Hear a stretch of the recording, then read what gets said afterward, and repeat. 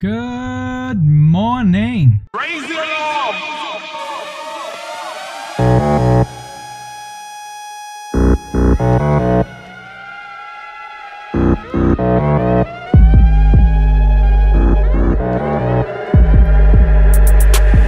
Hey guys, it's DC here, and today we're going over another. Last week you asked me, or LWYAM. If you haven't played this game before, basically what we do is we go to cybersecguidance.com forward slash forum and click on Q&A and then LWYAM.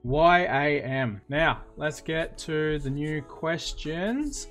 Uh, there's this massive one from David here, which is a huge wall of text, which I'll get to later in this video. Let's start off with Austin Maroney. He has asked, what kind of tools slash programs do you recommend to someone who's starting out or some resources to look for those? I'm not too sure what you mean some resources to look for those tools, but I can go through a couple of the tools that I use. I find the best way for me to learn is by doing and to do that, I go to tryhackme.com or hack the box. Uh, there's a whole bunch of challenges on there that you can do which will help you sort of learn in a fun way what sort of cybersecurity is like on a more offensive level anyway. Um, there's not too many resources out there to learn uh, defensive security like firewall management or rules, but a good way to learn how to manage a firewall is to build your own. A really fun project that you can do uh, at home is to build a Raspberry Pi into a little firewall.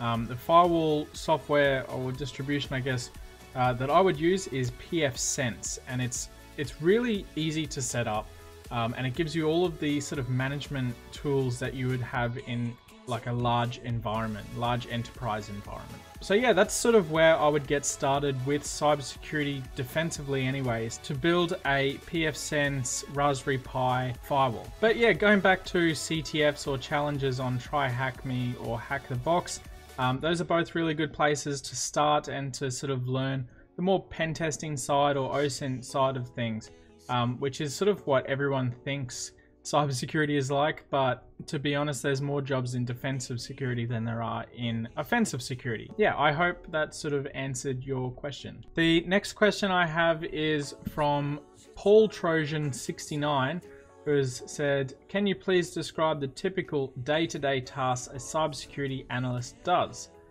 Um, okay, so cybersecurity analysts are also known as, I guess, threat intelligence or threat response. And essentially, what they're doing is solving tickets that come through for risk events. So, for example, firewalls and logs. For example, firewalls spit out a bunch of logs which then need to be analyzed by a security analyst. Um, what they're going to be doing is going through those logs and finding the high risk items and inspecting those particular items. Um, in SOC teams or as cybersecurity analysts go, there is also like malware analysis, which is sandboxing malware and sort of inspecting it and seeing how it runs and what it's going to do. Um, there's a lot of other stuff built into firewalls, which is sort of, I guess, being taken over by AI. Um, but those are sort of like the basic tasks of a security analyst. Depending on if you're in a SOC team or not, or just sort of working for an organization that's not that big, um, security analysts also tend to do what network engineers do, which is to make sure that network devices are as secure as possible. So, an example is uh, like port security through Radius um, or 802.1x. Um, a lot of places want this enabled and they want the ports locked down and maybe there's a task to change some of those ports or um, you know rename them or, or change the VLAN that they're on. So there is quite a lot of networking involved sometimes in security analyst roles, but yeah, I guess that's sort of like the daily task is going through the tickets and solving them and escalating anything that you can't solve to either a SOC team lead or um, someone else. Next question is from Carty1597. He has said, I am stammerer. That's why I am bad in verbal communication. Cybersecurity is good for me, question marks. In cybersecurity, which track is suitable for me? like forensic or pen testing? Which track is future proof from automation? Uh, interesting questions. I'll start with the last one. Uh, nothing in the world is sort of future-proofed from automation. What's going to happen is when something is automated, you'd be shifted into a different role within that role. Don't stress out about AI taking over everyone's jobs and and doing that. If it's going to happen, it's going to happen what is likely to happen is that it will change what your job encompasses and then you would just do something else that the AI can't do. Going back to being a stammerer and um, being bad in verbal communication, I'm going to take a wild guess that English isn't your first language, um, which is fine. Um, if you're planning to work in the country that you're from, whichever that is, uh, none of those things that you've listed here are actually problems. So is cybersecurity good for you? Sure, if you can do the job. In cybersecurity, which track is suitable for me, like forensics or pen testing? Um, pen testing is sort of further along the line. I would start off with uh, what this Paul Trojan 69 dude has said, which is to be a security analyst. That's usually like the entry level um, of cybersecurity in many places anyway. Um, and you don't really have to talk that much anyway to be honest. Like, you're going to have to talk with your team a little bit, and you might have to talk with some customers if you're working for an MSP. Might be best for you to stay away from those sort of MSP roles. And for anyone who doesn't know, an MSP is a managed service provider.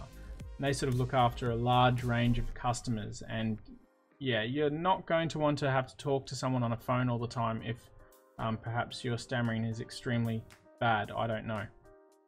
But yeah, I guess um, if you were to work for like a government organization or a large SOC team where you don't have to talk to customers, you're only dealing with internal staff, um, that's going to be fine. You might have to field a few calls and people will understand. Uh, you know, stammering is fairly common, so I wouldn't worry about it too much, to be honest. Just study for whichever sort of route you want to take and go for it. Um, the world's your oyster, man. So yeah, good luck to you.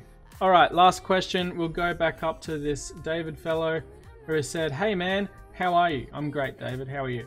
Just want to start off saying your channel is awesome. Thank you. And gives good guidance. I appreciate it. I have a question that you have already answered before in another video from long ago on how to become a cybersecurity engineer. You discussed going to university and getting a computer science degree and then landing a job while getting your certifications as you go along and then looking for new jobs. I'm going to be attending university to study computer science. Cool, man. I'm getting my bachelor's in it. But want to pursue the cybersecurity field because of interest and especially demand here in my city slash country. Awesome.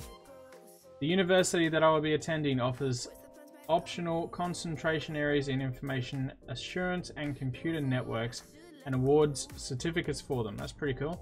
My question is, is it possible slash worth it to get the certifications required for cybersecurity that you discussed in your video, such as CCNA, Security Plus certification, and your OSCP alongside your computer science degree?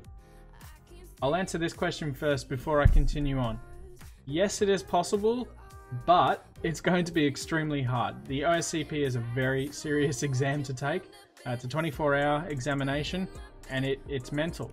Um, I probably wouldn't want to do that while I was at uni, to be completely honest. The CCNA, uh, you could probably study for that um, in like the off period. So yeah, I, I, guess, but it's up to you, man. You can do it afterwards or in between. Um, it depends on your own workload at university.